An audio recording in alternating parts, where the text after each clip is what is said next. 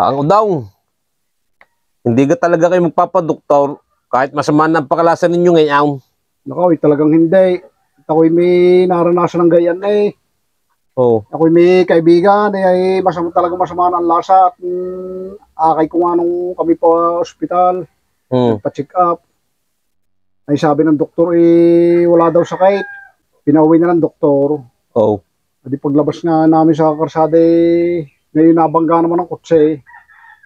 Yung aking kaibigan ay di patay. Kaya ako'y galit sa doktor.